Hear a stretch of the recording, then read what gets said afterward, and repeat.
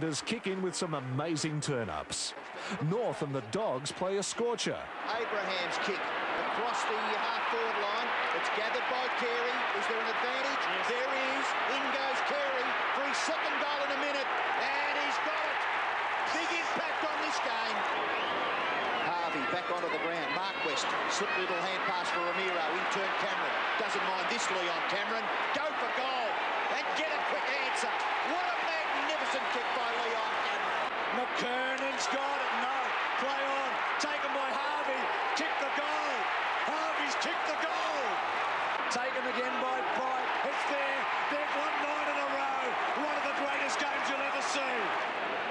As the full forward the Bulldogs thought they'd found finds himself outed for two weeks after this costly clash. Geelong's president and board quit on match morning, but the Cats topple the Dons.